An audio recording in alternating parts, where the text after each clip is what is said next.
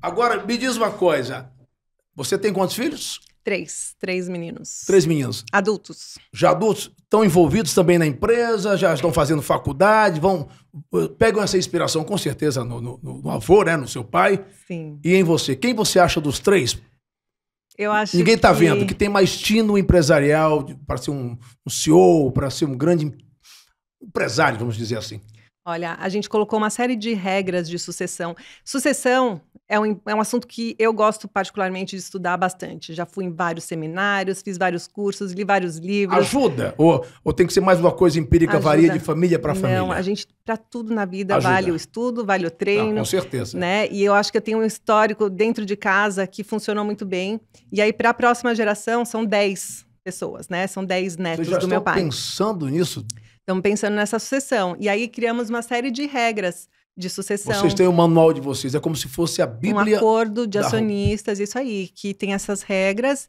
E Falei Bíblia, você é- é judia, né? sim, mas Hum, Tudo bem, fez uma Torá. maneira- mas maneira é como se fosse a Bíblia. Mas também. vocês têm essa, essa, esse manual, vamos dizer assim, temos, da temos. sucessão. E que são regras claras. Quais são essas regras? Pode falar alguma para o pessoal copiar? É, então, ó, você que tem a sua empresa, Ah, eu, eu vou falar uma que é muito importante. É, eu não sou CEO da minha própria empresa.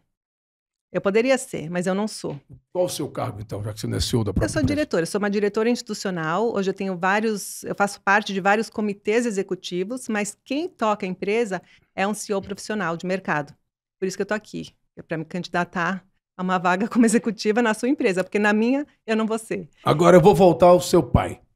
Eu li também sobre você e sobre seu pai que o seu pai teve um desafio muito grande, porque ele sempre quis buscar mais, não ambição.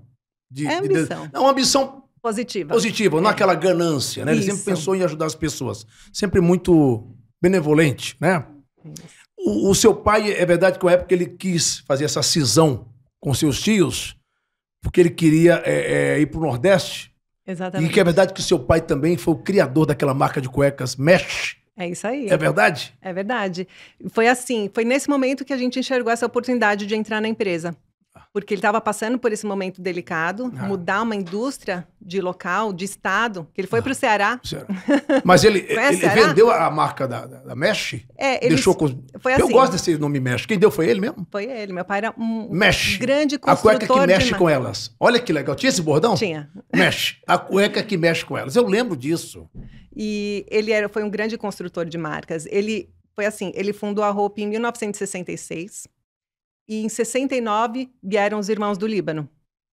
Ele era o mais velho ou mais novo? Ele era o do meio. O do meio. Dos irmãos homem. As E irmãs você é do mulheres meio. foram para a França. Você e eu sou é do meio. meio. É, por isso. Que coincidência. identifica, é.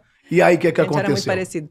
E aí, o que aconteceu foi que, quando os irmãos entraram no negócio, aí realmente ele começou a prosperar muito, porque ele começou a focar no que ele mais sabia fazer e mais gostava de fazer, que era vendas, né? Ele era um vendedorzão, um marqueteiro de primeira, porque antes ele fazia tudo. Ele fabricava, ele vendia, ele entregava, ele Ai, recebia. sozinho não dá, tem que delegar funções, né? Isso. Então entraram os irmãos e aí eles começaram a prosperar muito. Mas não tinha discussão.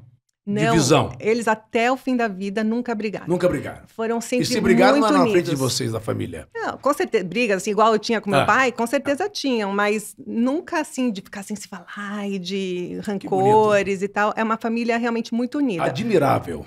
Família judaica, família árabe, é tudo sempre Eu muito família, né? eh, nu- nunca teve, porque eu sou filho único, herdeiro Ah. único. Mas se eu tivesse mais irmãos, eu não sei, viu? Porque a, a personalidade, a minha personalidade, a gente sabe, a gente é leonino, né? É difícil, né? É A difícil. gente tem que reinar, né? Tem que conceder, fazer concessões. E aí pode con- concluir, por favor. Aí E não aí tinha esse mau exemplo. vieram, eles prosperaram muito, e aí nos anos 90 ele estava achando muito difícil continuar em São Paulo, com a fábrica aqui em São Paulo. Ele viu que estava faltando mão de obra e estava com problemas com sindicatos, as pessoas não queriam trabalhar em fábrica mais. E confecção precisa de muita mão de obra intensiva, precisa de um ser humano lá atrás de cada E- uma e das com máquinas. capricho para manter a qualidade do produto, né? Exato. Aí ele começou uma pesquisa pelo Brasil, e aí ele já com uma situação bem mais confortável de vida, os meus tios não quiseram acompanhar ele.